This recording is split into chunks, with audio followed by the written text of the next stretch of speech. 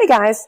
So um, we are going to go on to the next chapter, which is called the Cotton Kingdom.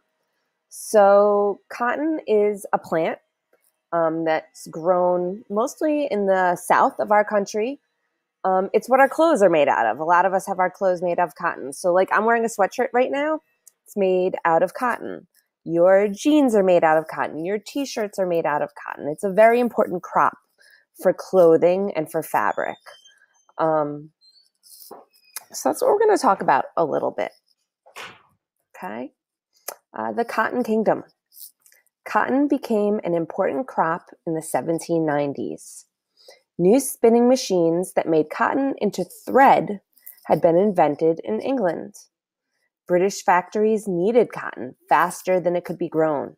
When Americans realized cotton would grow in the southern states, they began to plant it. Southern farmers hoped to make lots of money. They had a problem. The type of cotton grown in the southern states took a long time to clean. It took one person a whole day to remove seeds from about one pound of cotton. So think about that. All day long they worked cleaning it, and they could get through one pound of cotton for one worker. The cotton could not go to factories until the seeds had been taken out. Farmers wanted to invent a machine to make it easier to remove the seeds. Eli Whitney had graduated from college at Yale University. While visiting a friend in Georgia, he heard about the problem with the cotton seeds. Whitney had never seen a cotton plant before, so he studied the plant and thought about how to solve the problem. In a few days, Whitney invented a machine. It was named the cotton engine or cotton gin. Uncleaned cotton was fed into the top of a wooden box. Metal teeth then pulled the cotton through and left the seeds behind. One person was now able to clean about 50 pounds of cotton a day. So think about that. Before they could do one pound of cotton a day, now they could do 50 pounds of cotton in a day. That's a huge difference, right?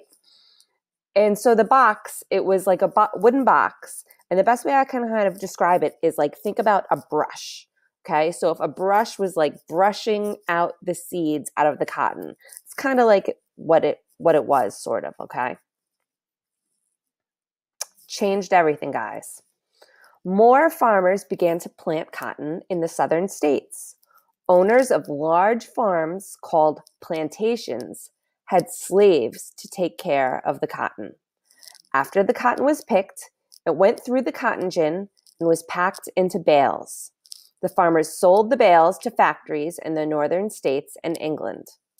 So, who was it that took care of the land?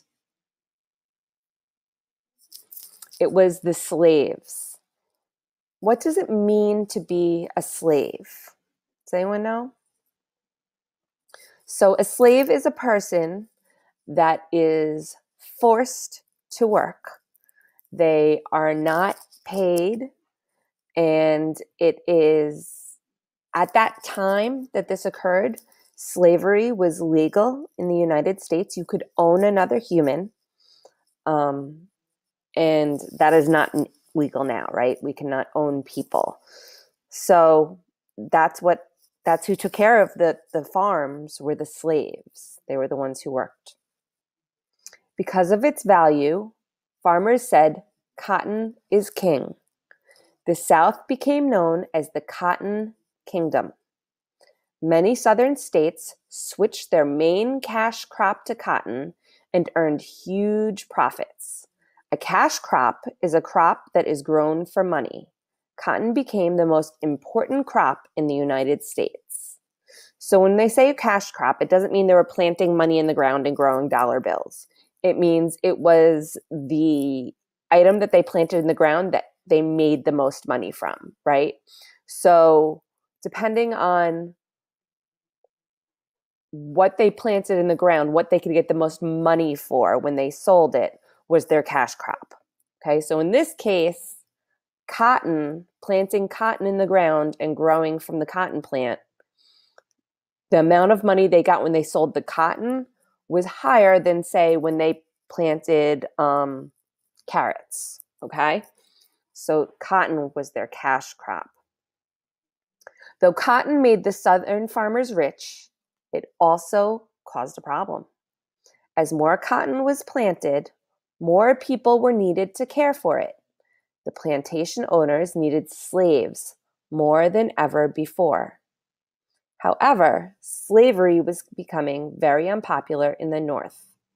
Most Northerners did not agree, did not own slaves, and many thought slavery was wrong. The disagreement over slavery would be the main reason for the Civil War. So, coming up, what we're going to learn about is the Civil War. And what they're telling us is that the main reason we're going to find out that we fought the Civil War was because people didn't agree about slavery. People in the north of the country felt that slavery was wrong, that you should not be allowed to own another human. And in the south, for the most part, they believed that slavery was okay and they believed that it was necessary because they couldn't make their money unless they had people to work for free, right? So we're going to learn more about that in a later chapter. Um, but right now, I want you to know about what an important part cotton played in the Southerners making money.